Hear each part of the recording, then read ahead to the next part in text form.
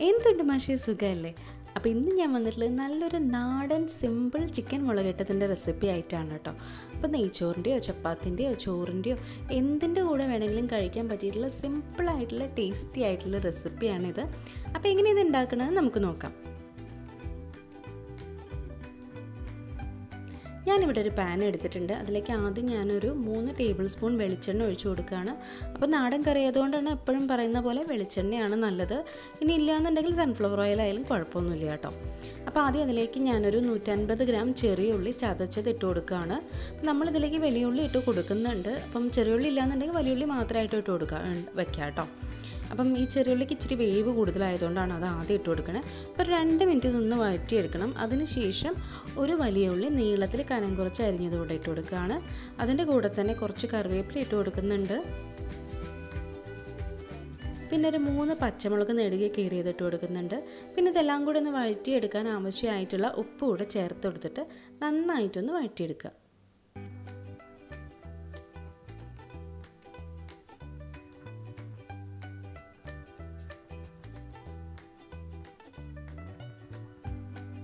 അപ്പോൾ ഈ ഉള്ളിയൊക്കെ ഒന്ന് വണ്ട് വന്നു കഴിഞ്ഞാൽ ഞാനിതിലേക്ക് ഒരു രണ്ട് ടേബിൾ സ്പൂൺ ഇഞ്ചിയും വെളുത്തുള്ളിയും ചതച്ചത് ഇട്ട് കൊടുക്കുന്നുണ്ട്. എന്നിട്ട് അതും കൂടെ ഒന്ന് നന്നായിട്ടൊന്ന് വഴറ്റിയെടുക്കുകയാണ്. അതിന്റെ പച്ചമണമൊക്കെ ഒന്ന് മാറി വരുന്നത് വരെ. ഇപ്പോൾ ഒരു രണ്ട് ഇഞ്ച് കനത്തിലുള്ള ഇഞ്ചിയും പിന്നെ ഒരു എട്ട് വെളുത്തുള്ളി എല്ലിയും കൂടെ ചതച്ചെടുത്തതാണ് കേട്ടോ. അപ്പോൾ ഇതൊക്കെ ഒന്ന് വഴണ്ട് വന്നു കഴിഞ്ഞാൽ നമുക്കിതിലേക്ക് പൊടികൾ ചേർക്കാം. ഞാൻ ആദ്യം ഒരു മുക്കാൽ ടീസ്പൂൺ മഞ്ഞൾപ്പൊടി ചേർത്ത് കൊടുക്കുന്നുണ്ട്. പിന്നെ രണ്ട് ടീസ്പൂൺ കശ്മീരി ചില്ലി പൗഡർ ചേർത്ത് കൊടുക്കുന്നുണ്ട്. ഒരു ടീസ്പൂൺ സാധാരണ നമ്മുടെ എരിവുള്ള മുളക് പൊടി അതും കൂടെ ചേർത്ത് കൊടുക്കുന്നുണ്ട്. എന്നിട്ട് നന്നായിട്ട് അതൊന്ന് മിക്സ് ചെയ്ത് എടുക്കുകയാണ് അതിന്റെയൊക്കെ ഒന്ന് പച്ചമണം മാറുന്നത് വരെ. ഇപ്പോൾ കാശ്മീരി ചില്ലി പൗഡർ ചേർത്ത് കൊടുക്കുന്നത് കുറച്ച് നല്ലൊരു കളറിനൊക്കെ വേണ്ടിയിട്ടാണ് കേട്ടോ. ഇല്ലയെന്നുണ്ടെങ്കിൽ സാധാരണ മുളക് പൊടി ആയാലും കുഴപ്പമൊന്നുമില്ല. എരിവിനനുസരിച്ച് ചേർത്ത് കൊടുക്കുക. ഇനി ഇതിലേക്ക് ചേർത്ത് കൊടുക്കുന്നത് രണ്ട് ടീസ്പൂൺ ചിക്കൻ മസാല. അത് ഏത് ബ്രാൻഡിന്റെ ആയാലും കുഴപ്പമില്ല. ഞാനിപ്പോൾ യൂസ് ചെയ്യുന്നത് ഈസ്റ്റേണിന്റെ ആണ് അപ്പോൾ ഏതായാലും കുഴപ്പമൊന്നുമില്ല കേട്ടോ. നിങ്ങൾ ഏതാണോ വീട്ടിലുള്ളത് അത് ചേർത്ത് കൊടുക്കുക. അപ്പോൾ അതെല്ലാം കൂടെ ഒന്ന് നന്നായിട്ട് അതിന്റെ നിന്ന് പച്ചമണം മാറുന്നവരെ നന്നായിട്ടൊന്ന് മിക്സ് ചെയ്തെടുക്കുക. അതിനുശേഷം നമുക്ക് ചിക്കൻ ചേർക്കാം. ഞാനിപ്പോൾ ഒരു കിലോ ചിക്കനാണ് എടുത്തിട്ടുള്ളത്. അതൊരു മീഡിയം സൈസ് പീസായിട്ട് കട്ട് ചെയ്തിട്ട് നന്നായിട്ട് കഴുകി വൃത്തിയാക്കിയിട്ട് എടുത്തിട്ടുണ്ട്. അപ്പോൾ അതുകൂടെ ഈ മസാലയിലേക്ക് ഇട്ട് കൊടുത്തിട്ട് നന്നായിട്ടൊന്ന് മിക്സ് ചെയ്തെടുക്കുക.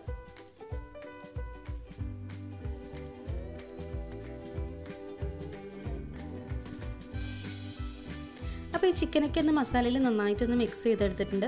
ഇനി ഒരു രണ്ട് മൂന്ന് മിനിറ്റ് അതൊന്ന് അടച്ച് വെക്കുകയാണ് കേട്ടോ. എന്നിട്ട് ലോ ഫ്ലെയിമിലിട്ട് വെക്കുകയാണ്. അപ്പോൾ ആ മസാലയൊക്കെ ഒന്ന് ചിക്കനിലേക്ക് ഒന്ന് ഒന്ന് പിടിക്കാൻ വേണ്ടിയിട്ടാണ്.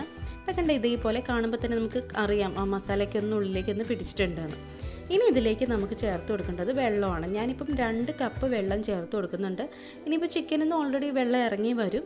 ഇനിയിപ്പോൾ നിങ്ങൾക്ക് എത്ര കറി ആവശ്യമുണ്ടോ അതിനനുസരിച്ച് നിങ്ങൾക്ക് വെള്ളം ചേർക്കാം കേട്ടോ.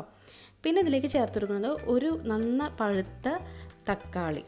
ഒരു മീഡിയം സൈസുള്ള തക്കാളിയാണ് അതുകൂടെ ചേർത്ത് കൊടുക്കുന്നുണ്ട്. എന്നിട്ട് നന്നായിട്ടൊന്ന് ഇളക്കി മിക്സ് ചെയ്ത് കൊടുക്കുക.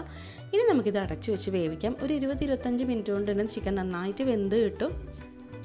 അപ്പോൾ ഇടയ്ക്കിടയ്ക്ക് ഒന്ന് ഇളക്കി കൊടുക്കുക കേട്ടോ.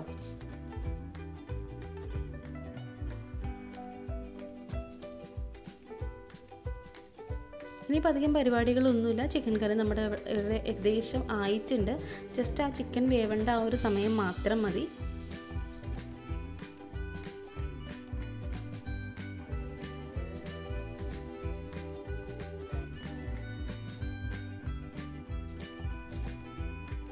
ശരിക്കും ഞാനിത് ഏറ്റവും കൂടുതൽ കോമ്പിനേഷൻ ആയിട്ട് യൂസ് ചെയ്യുന്നത് നെയ്ച്ചോറിനും പത്തിരിക്കൊക്കെയാണ് കേട്ടോ.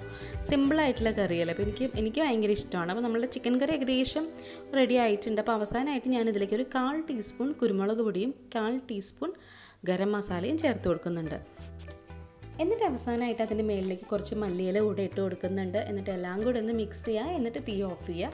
എന്നിട്ട് അതൊരു സെർവിങ് ബൗളിലേക്ക് പകർത്താം. എന്നിട്ട് ചൂടോടുകൂടെ തന്നെ ചോറിന്റെയോ ചപ്പാത്തിന്റെയോ പൊറോട്ടേന്റെയോ പത്തിരിന്റെയോ നെയ്ച്ചോറിന്റെയോ എന്തിന്റെ കൂടെ വേണമെങ്കിലും സെർവ് ചെയ്യാം. കിട്ടില്ലനായിട്ടുള്ള ടേസ്റ്റി ആയിട്ടുള്ള നല്ല സ്പൈസി ആയിട്ടുള്ള കറിയാണ്.